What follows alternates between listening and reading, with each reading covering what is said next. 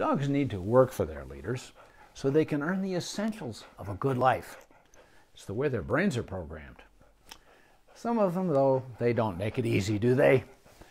Now, this isn't all about the person on the other end of the leash, but hey, you're the leader, so we're going to start by setting you up to succeed. Does anybody here have a dog who just has a hard time following instructions? It's not unusual. Please don't feel bad. Put it in the comment line. Tell me about it, and we're going to talk about it right now. In fact, you're welcome to ask me any question about cats or dogs.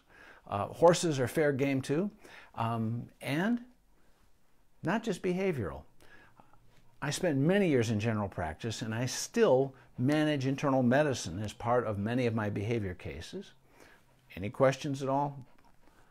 Let them rip. This is a great time to get information. And by the way, in case we haven't met, I'm veterinarian Dr. Jeff Nichol. I'm residency trained in veterinary behavior medicine, and this is Miss America. Miss America, honey, would you sit up so people can see you? There you go, see? That's our beautiful border collie. That's why her name is Miss America. And this is Tony, one of our two fuzzy cats, and the other fuzzy white guy's on the floor. And Carolyn will toss a couple of cat treats up here in just a minute because they have learned from doing these Facebook Lives with me for the last two years that, um, you know, when they see me camp out here in my upstairs office, this is what happens. We get, uh, we get treats if we show up on the, uh, on the table, on the writing table.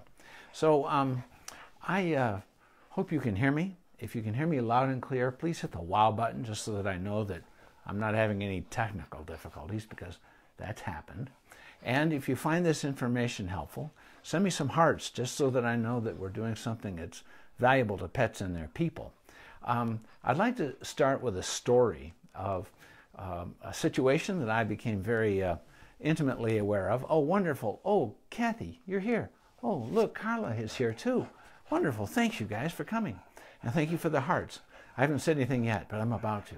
So, way back in the day, in um, had to have been 1983, I had this wonderful Airedale.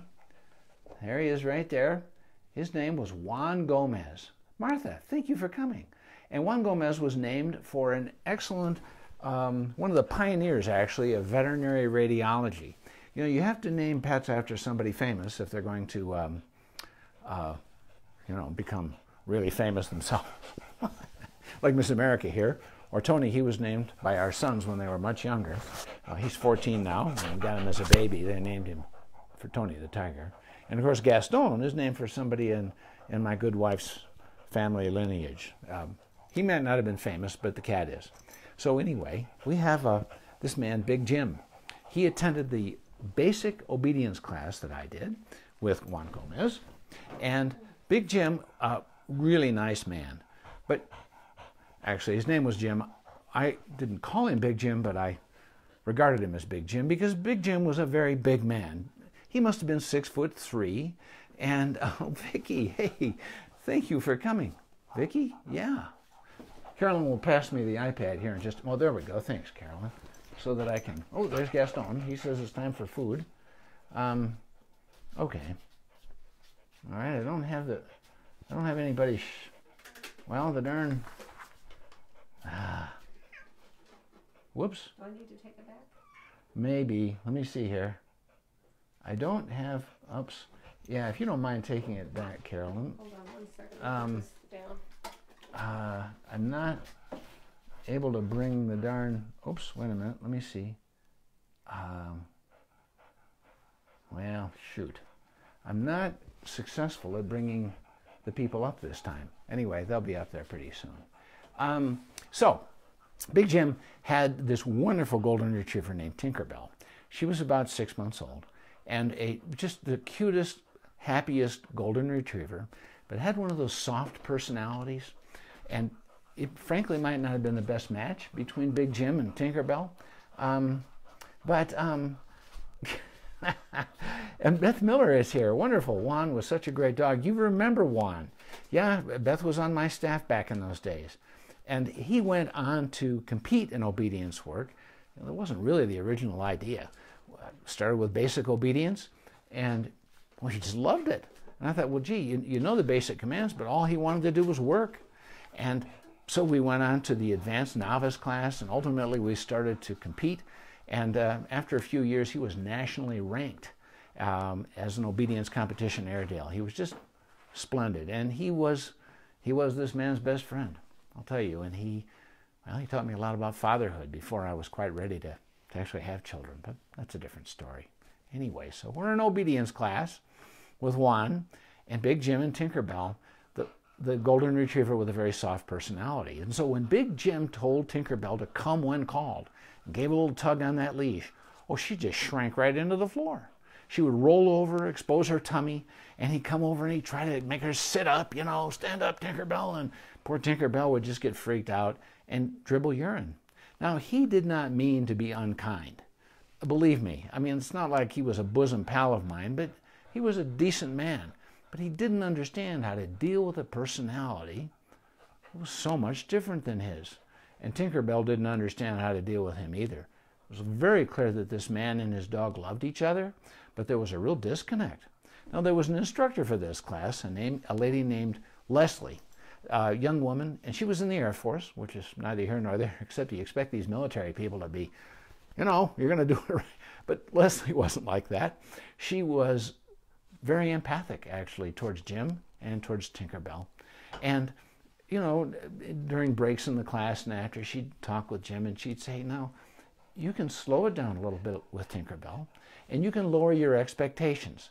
In other words, only expect her to start coming to you and begin to reinforce that. You don't have to have immediate perfection every single time. And you could tell Big Jim was trying hard to, to grasp that concept. But it was a pretty wide chasm between what this man thought was a reasonable expectation of his dog and what the dog was capable of doing because she got overwhelmed. And so, one of the things in bringing out the best in a dog, or maybe anybody else, try to walk a mile in their shoes, like Leslie, the, the instructor of that class, did. Try to understand what it is that's going on with the, the other pet or the other person, and try to adjust and, and fine tune what we're doing for them. And so, when we have a dog who just doesn't understand how to do what it's told, and this is especially true with puppies, and you want to start that obedience training as soon as you get a baby.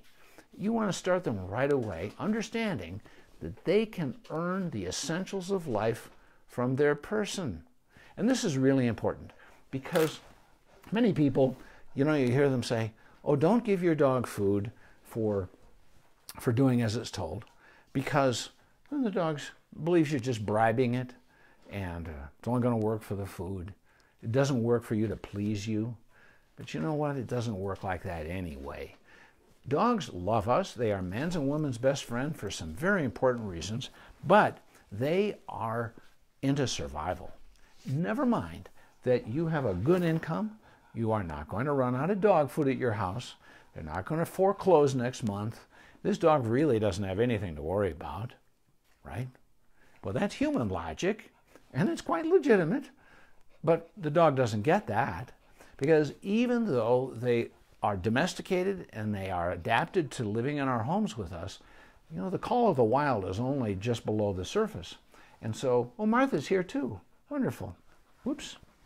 And we can hear you. Thank you, Carla. Um, and Manners is here too. Oh, my goodness. Boy, we've got a good crowd. I'm delighted. So, um, we have um, we have these dogs who look to their leader as the, controlling all of their resources and everything is a resource except air to breathe and water to drink. And you notice Miss America here, panting in my lap, is not asking Mother May I if she can have that next breath. She knows that she's entitled to air and water, but everything else is a privilege that they have to earn. And boy, there's here's an exercise in empathy is recognizing that these other species are very different than we are. Cats, on the other hand, like Gaston here, you can't see him very well because he's on the other side of the iPad. Here, let me move this over here, Gaston. You can camp out here if you like. Um, they see things very differently. And, you know, despite what you may have heard, we humans are actually smarter than our pets. And so they, um, we can learn, in this case, canine leadership. They are not usually capable of learning much human followership. Now, dogs who are well adjusted, they don't have anxiety disorders or some other behavior problem, um, you know, they can adapt. But even still, we can bring out their best by laying out a structure for them that completely capitalizes on their innate needs, and that is survival. Dogs seem to believe that there's going to be a famine starting in about 20 minutes.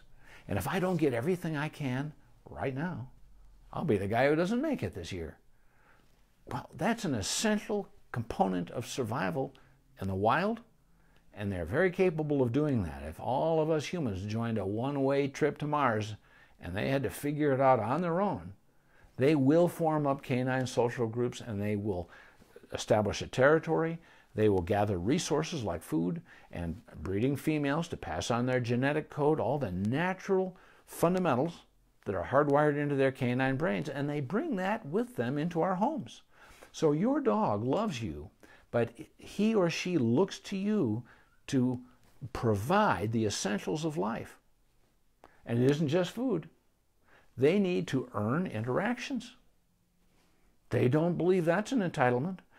You may think it is, but you're making a mistake because you want your dog to earn it because that brings security to this species.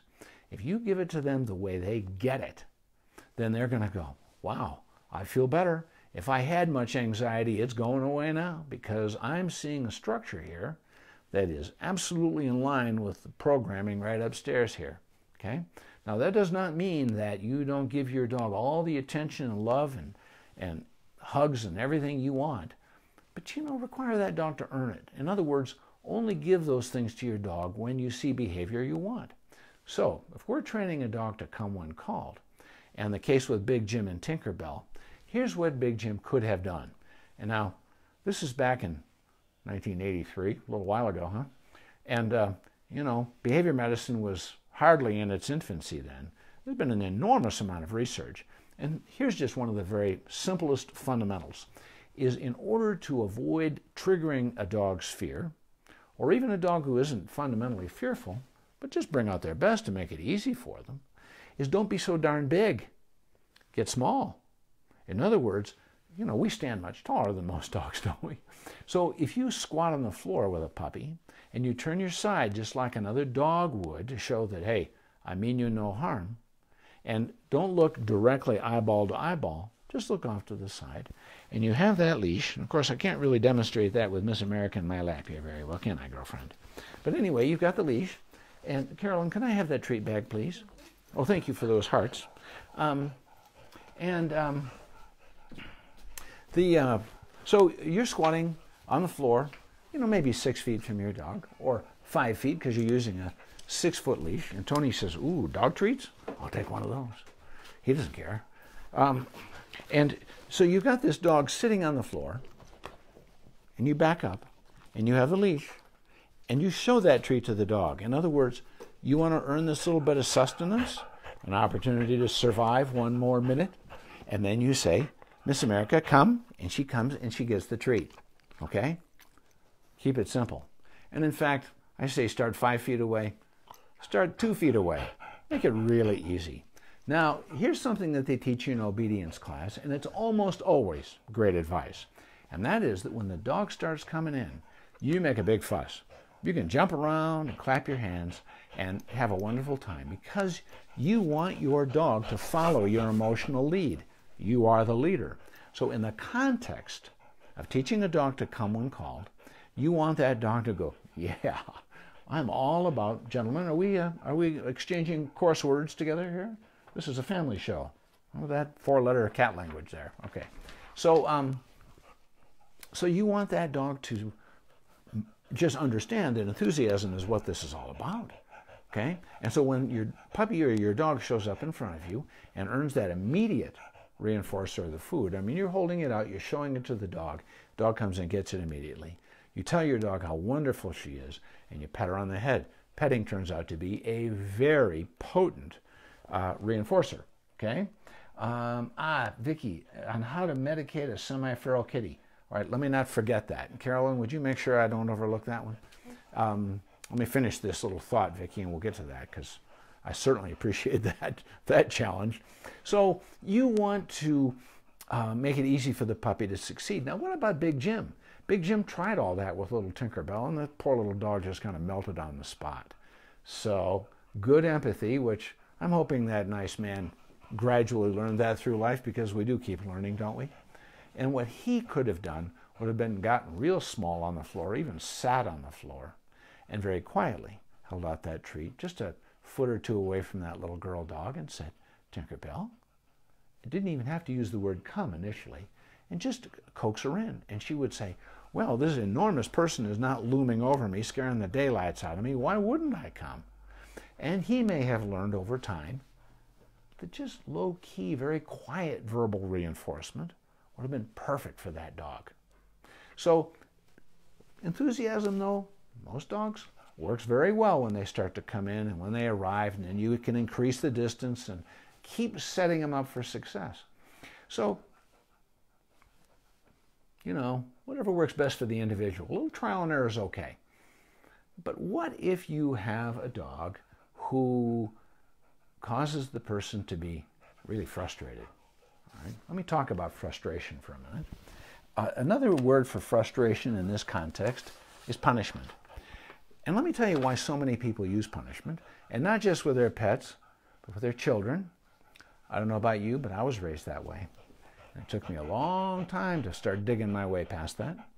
And of course, in veterinary behavior medicine, we have come to learn, just on the human side as well, that our training in a, in a behavior residency is um, a lot of it came from the human side. Uh, many of the postgraduate courses that I took were in the biology department at the University of New Mexico and the psychology department. Um, and they, these things, they know from a lot of animal research for human behavior and vice versa, that the basics of learning theory are really the same regardless of what species you're talking about. And the reason that punishment is used so commonly is because it works fast. But there's more to it than that a little more nuanced. So here is a statement from the American Veterinary Society of Animal Behavior, and I know that's backwards, but it's the AVSAB. And you're welcome to go to their website, and they will, and you'll find this position statement on punishment and several others, and a lot of very good information.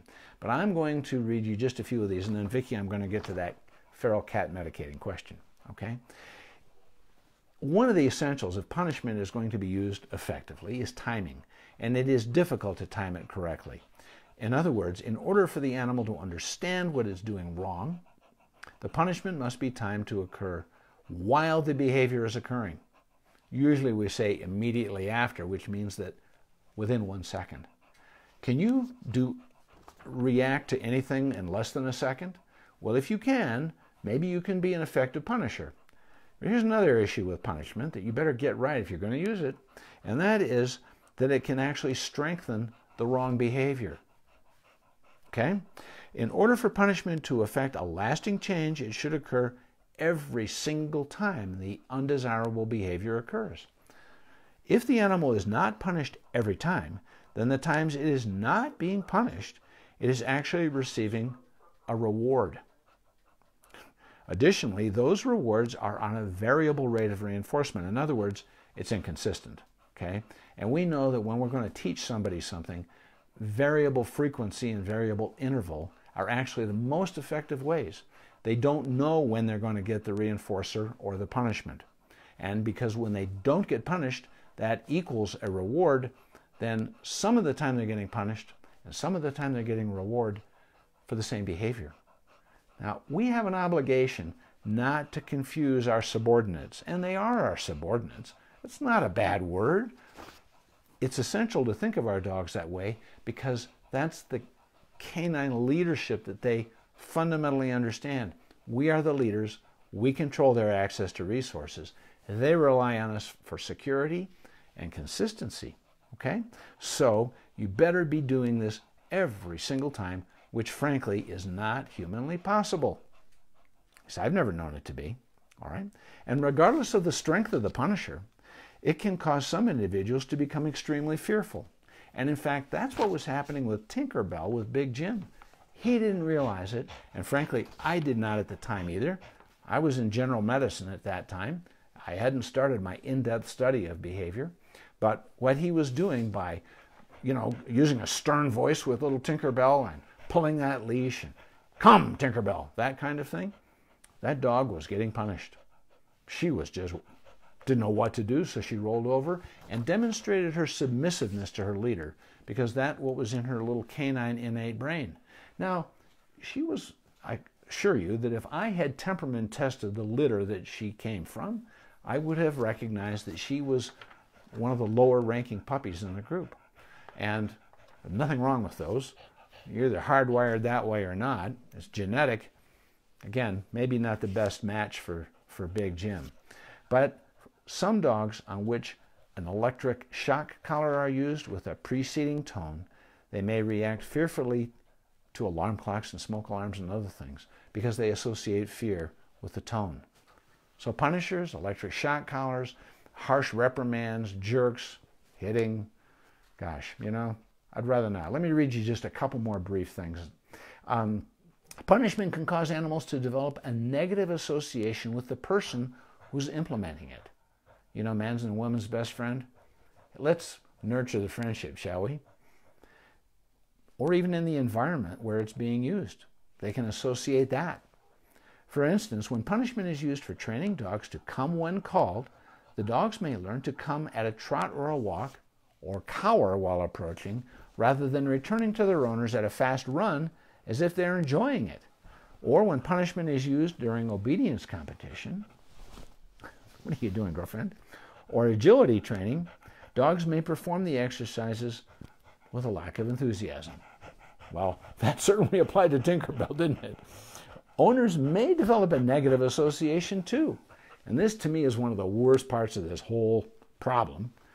When owners use punishment, they are often angry, and thus the expression of force is reinforcing them because it temporarily decreases their anger. And this has been established in human behavioral research. Those people may develop a habit of frequently becoming angry with their pet because it, quote, misbehaves in spite of their punishment. And I saw that happening with Jim.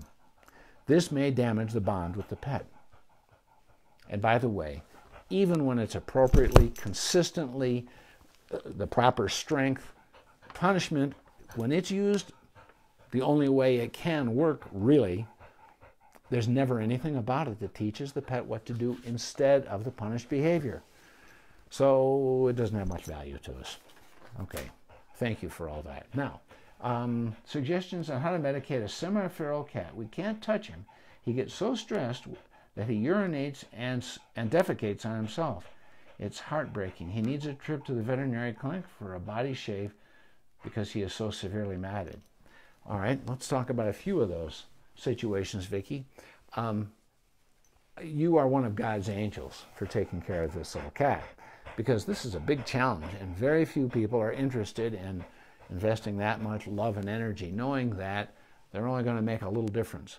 Feral cats, um, they're different than feral dogs. Many dogs who were raised as babies and, and, and largely into their adult lives as part of free living feral groups, they actually can learn to trust a person and become a pretty, de- pretty decent, well bonded pet. But cats, on the other hand, they don't get the kind of gentle social contact with humans starting when they're about three weeks old um, and have plenty of it until they're at least 12 to 15 weeks, they tend to always be afraid of people. And you can take them in and you can help them improve in that relationship, but you typically only make a little bit of difference. And so you have to accept that this is the way it's going to be with that kitty. Now, the other thing that concerns me about this kitty and her mats, her mats, um, him, sorry, um, is why is that cat so darn matted? As we know, cats typically groom themselves, and when they don't, and they become badly matted, um, certainly malnutrition where he came from could have been a factor. Um, very often, mouth pain prevents them from grooming properly. Mouth pain can result from infections of the gums, uh, teeth that are loose and painful, Uh, sometimes internal disorders like kidney failure can cause mouth pain. And so that worries me a lot. Now, there's no question those mats need to go. But what I'm going to encourage you to do is find a veterinarian who is trained in what's called fear free techniques. And if you go to a website called fearfreepets.com, I've got a locator there, and you can find a veterinary clinic that is certified fear free. Now, you don't have to be fear free certified to understand how to do some of this stuff, but it really makes a difference. And if a veterinary clinic has had that training, then um, they know exactly what to do. And no one should ever struggle with this cat, whether to give it a medication or to hold it still to have its mats removed. This cat needs to be pretty heavily sedated. And that's the only good way to do this.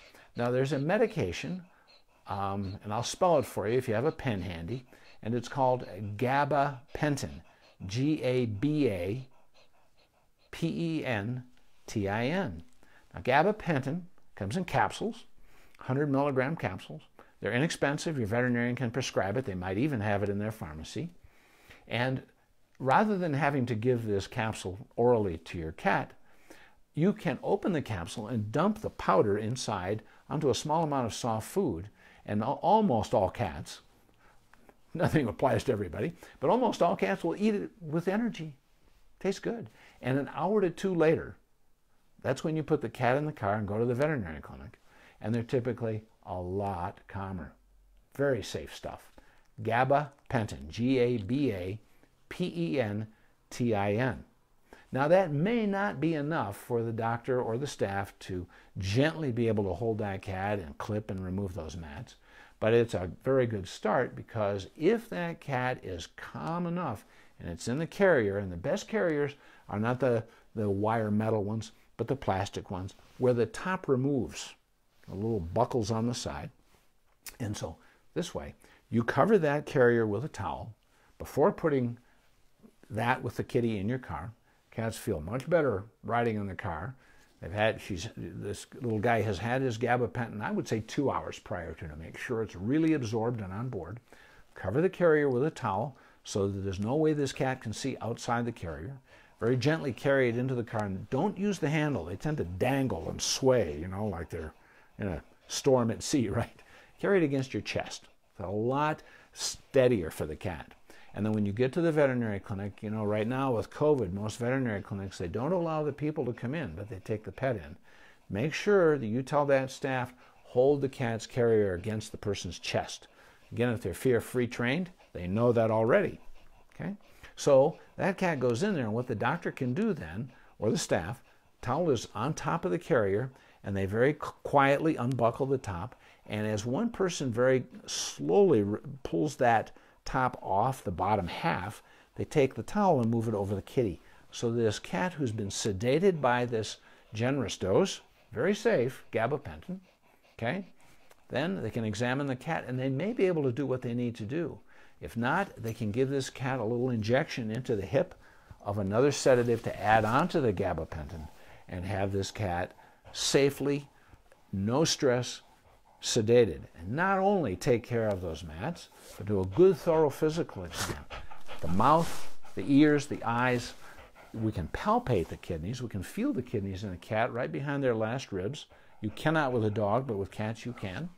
Check out the whole creature, okay? The joints, the whole thing, the heart, lungs, you, you name it, okay? So, nose to tail exam.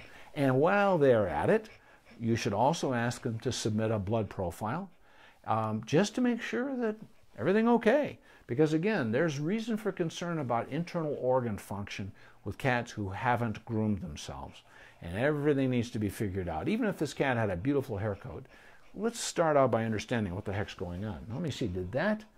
Um, yeah. So, you know, you've done the best you can, but when a pet gets so stressed that they lose control of their of their stool and their urine, that's telling us, oh boy, we've gone, we've gone a little too far. We need to back up and take a whole fresh approach. So I hope that helps. Let me see, are there any other questions? Ann Manners, two years. Yeah, and Ann's been mo- to most of these things. Ann is my excellent sister-in-law in Tulsa. And Ann doesn't even have a dog, but she attends the ones I do on cats and the ones I do on dogs because she loves dogs too. And she's a lovely woman. And I'm so lucky to be part of her family. Um, so that's what I have to report. Um, anybody else have any other questions? This is a great time to ask. But you, you can put them on my Facebook page. And if you do, I'll address them. And oftentimes they're pretty good for my weekly column in the Albuquerque Journal, something I've been doing since 1996. Boy, time flies, doesn't it? um, and by the way, you can get my weekly column. We call it a media blog or a media post nowadays, don't we? Uh, because hardly anybody reads newspapers. And you can get my every Thursday, or almost every Thursday, Facebook Live. You can get them in your email box on Tuesday mornings. All you have to do is subscribe to my website. Go to Dr. Jeff Nichol, Dr. Jeff, N I C H O L, drjeffnichol.com. And at the bottom of the page, of the homepage, you can subscribe. It's no cost. You just put your email address. And every Tuesday morning, you'll get those things in your email box. And I will send you, of course, at no charge, my pet first aid and CPR guide. You know, I do these things every week because it's important to bring out the best in pets and their people. And I, and uh, I love my work. I've been at it a long time. Beth can tell you that because she was with me after I'd only been in practice, I don't know, eight years or something when she came to, to work for us at our hospital. And we miss you still, Beth. You can come back anytime. Um, and I'll make sure you have a position. So there. Um, Beth is a nurse now in Texas. Um, I don't think she's coming back, but we'd like it if you did. So I think that's all I have to report. Just, you know, it's worth it to take the time to build a foundation of trust and choice and freedom for your pets before asking them to do things differently for you. Because pets, just like people, well, they can become obstinate if their leader only wants their needs met. It needs to be both ways. And so it's you can always at any point in the relationship teach your pet that they can trust you not to intimidate them. It's one of the greatest gifts that pets give us is they can teach forgiveness. And they will. They'll say, It's all right, let's start over. And you know, life gets pretty good with a pet, isn't it? Um, there was one more question here. Um, how do you handle, if this is from Carla, how do you handle a puppy straining on the leash? Bad puppy. Carla, do you have a new puppy? You have wonderful Aphrodite, the bulldog. But uh, to your question, um, you know, dogs have a very strong need to get off territory, to sniff and investigate, to read those bulletin boards. It isn't just picking up the scent of other dogs, which they do, um, but dogs secrete a chemical, what's called a semiochemical. It's a pheromone like substance from these little tiny glands that secrete this stuff between the foot pads. And these aren't a scent. Actually, they don't have a scent. They are communications. It is inhaled in the air that the dog breathes in as they sniff stuff on leash walks. And they are reading messages that are left by other dogs. And they are leading, leaving their own messages. Now, we don't understand enough about these yet to say much more than they are messages, but we have learned that.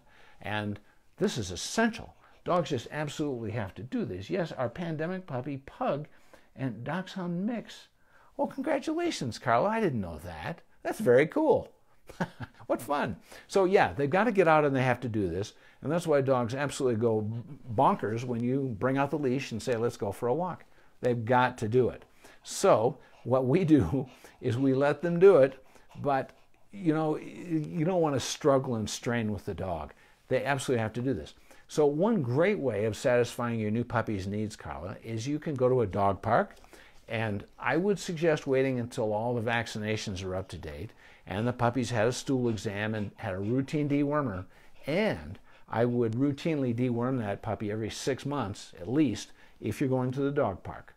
Um, but that doesn't make it a bad place. And if you want to have that puppy drag a nice long leash, like 20 feet, just in case something starts to go bad with another dog, you can rescue your dog. By the way, always carry something called spray shield. If I'd thought of this, I'd have one to show you. It's a little aerosol. You can order it online and um, it has a range of about 15 feet, and it's citronella. It's not pepper spray, it's not mace, it doesn't cause any harm, doesn't cause any pain. But if two dogs start to mix it up and you spray them both, including yours, with spray shield, and it's a citronella. Dogs hate that. Most people don't seem to mind, but dogs just hate it, and it causes confusion. And they go, oh my goodness, and it gives you an opportunity to grab your puppy and get the heck out of there. So don't be afraid of dog parks. I suggest going when there are not as many pets and people there, but let them run off leash and do all those normal things that they must do off territory so they can read those messages. Now, if a dog gets good and tired every day, whether it's at the dog park or a doggy daycare at a kennel, um, they're usually much better on leash. But one of the best things you can do if you've got a puppy or an adult dog whose needs are met, like that, social interaction with other dogs, off leash, off territory, sniffing and investigating, getting good and tired, um, then you can go to a puppy obedience class. And here in Albuquerque, the best one is the same one I took Juan to way back in the day, is Sandia Dog Obedience Club. Um, I don't have anything against, you know, pet supply stores have them, but these are people who aren't necessarily the most highly trained dog trainers. The folks who give the classes at, at an obedience club, which is a nonprofit club, um, you pay for the upkeep on the building and that stuff. Those folks are all volunteers, and they are obedience enthusiasts. It doesn't mean that they expect everybody to go on and compete the way Juan and I did, but a couple people do but they understand the foundation of teaching a dog to want to work for you and show that enthusiasm because by the way if you did compete that really matters in the obedience ring and you don't get that by scaring the daylights out of your dog okay? So it's a great way to go and there's a structure and you want that. Um, so you can then go with obedience training and it's much, much more than come and sit and down but heeling. And heeling takes time and it's a gradual process but that puppy's got to get her needs met first. And so it's always best before going to class, obedience training class, or practicing the skills, is to give your puppy a chance to run hard, throw the ball, throw the frisbee, go to the dog park, whatever, because a tired dog is a happy dog.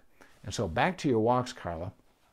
If you let that little puppy of yours run around the yard, throw the ball, and get her all crazy and, and, and active and good and tired, and then go for the walk because the walk is good exercise for you and Tom, but it's not much exercise for a dog. That isn't why the dog likes to go. The dog has social reasons. Even if they don't encounter another dog, they're picking up all those scents and pheromone communications. Um, so you go out there for your purposes, and your dog has her own purposes.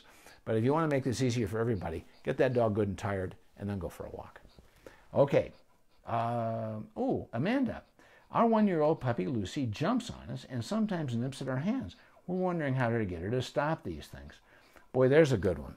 And actually, that's going to be the subject of one of my Facebook Lives coming up. I've got it on my plan. It might be next week, actually. Uh, if not next week, the week after. I'm Pretty sure it's next week. But anyway, let me give you a little preview on that one. Um, uh, you know, puppies, uh, they love us and they want all that physical contact. But that puppy needs to learn that the great privilege of physical interaction with its person is got to be an earned privilege. And so you're not going to punish that, but what you're going to do is you're not going to reinforce it when your puppy is crossing the line and demanding that interaction.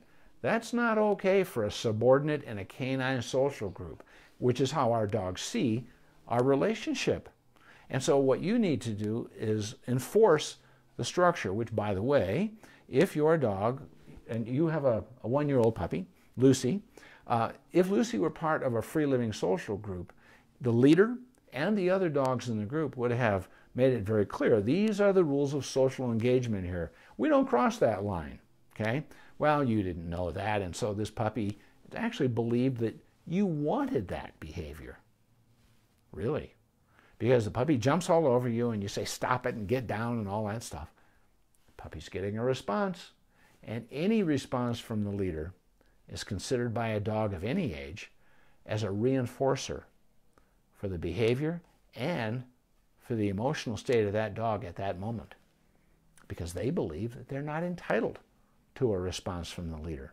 So you can yell and swat and all that stuff, and that dog goes, Hey, not only am I earning a response, which I would not get if this leader of mine didn't want this behavior repeated.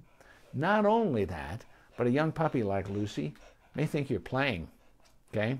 So we need to put the kibosh on this nonsense without punishment and without confusing the puppy into thinking it's what we want. So what I'm going to encourage you to do right now, Amanda, is leave a six foot or longer leash on Lucy to drag around the house all the time when she's indoors. Okay? It becomes second nature to everybody pretty quick. And not if, but when she decides to, you know, fling herself at you again, your first step will always be the same, and that is completely ignore. I mean, completely ignore. Like, there's no such thing as Lucy. You've never heard of it. Okay? Uh, that can be hard to do. Practice that skill. Now, if you had a dog named Lucy at those times, which you don't because you're an Olympic level ignorer, she would look at you and go, Oh my goodness, I've lost my relationship with Amanda. Oh my God, what will happen now? If I don't have this relationship, I won't get behavioral cues. I won't be allowed to go with our group, our canine social group, and find food resources and, and protect our territory. And uh, I'll be the one who doesn't make it this year. That is fundamental canine thinking. That's just how they are. We have abundant research to support that. Okay? So what you've done is taken something away from her. And that's a punishment, actually. It's a negative punishment because you've taken something away. Positive punishment is when you add in an aversive, like, you know, a SWAT or an electric shock collar or something like that, right? You wouldn't do that. But you're going to take something away. Okay? You're going to take away the relationship completely. There isn't any relationship. There's no such thing as Lucy. Immediately ignore behavior you don't want so that the puppy doesn't inadvertently believe that it's been reinforced. Okay? But you've got that leash, which dogs actually don't understand. If we're communicating with our dog with the leash, they understand it as a communication tool. But if there's no communication because you're an Olympic level ignorer, and Lucy's looking at you going, oh my goodness sake, I've lost it. I've lost the relationship. I am a ship adrift at sea. Okay? And by the way, canine leaders ignore their subordinates often when they see behavior they don't want. That is fundamental to the canine brain as well. All you're doing is giving Lucy canine leadership. You're not teaching her anything new. She already gets that. Okay? You need to get that. Okay? So you ignore all that nonsense, and then you grab the leash. And then get up and walk away. Lead the leash to some other part of the house, just round a corner to another room. Now, if you had a little dog named Lucy on the other end, which of course there's no such thing, you would have taken her out of the context and you go around a corner and you just stand there for another five or ten seconds, continuing to completely ignore, and then you steal a quick glance. Did you notice me steal a quick glance at Miss America like that? Yeah, that's a quick glance. And if you notice a softer body posture, you very quietly reinforce and you go, good dog, like that. You don't get enthusiastic at that time because your subordinate will follow your emotional lead. And here we had Lucy, who was just highly aroused inappropriately, and we want to set her up for success. So we've ignored, we've gone to a different context so that she's out of that other place. And you stand there and she's looking at you going, "Oh God, if I'm if I'm quiet, if I show a calmer emotional state, that's likely to get reinforced." And sure enough, it does. You don't have to wait for her to be zen and totally relaxed. Just improved. And you go, good dog. And she goes, oh, Amanda's calm. Me too. Repeat hundreds of times, and she'll get it. But here's the other side of the equation, and that is catch her doing something right every chance you get. This is called operant conditioning. Humans are operant learners as well, and it's that old what gets reported, let me start again, what gets rewarded gets repeated. You know, you read the parenting books or the leadership books, you know, they all say that. And it's true, not only of humans, but of dogs. What gets rewarded gets repeated. So don't confuse her, like, don't feel bad about this mistake. Everybody does that wrong till I tell them otherwise, okay? So you stop reinforcing, inadvertently reinforcing the wrong behaviors. And when she's calm, any old time she's calm, just say, Good girl, Lucy. Let me do it hundreds of times a day. Good girl. You're calm. You're good. You get all wild and crazy, you lose. You lose the interaction. But you have control because you have the leash. Okay? And you can go some other place and set her up for success. Anybody else? I think that's it. Well, everybody, thank you so much for sharing this time with me. I am just tickled to have this group of folks to share information with. And I'll see you all next Thursday evening. And uh, everybody, please be safe. And uh, uh, don't forget to wear your mask. I got another heart.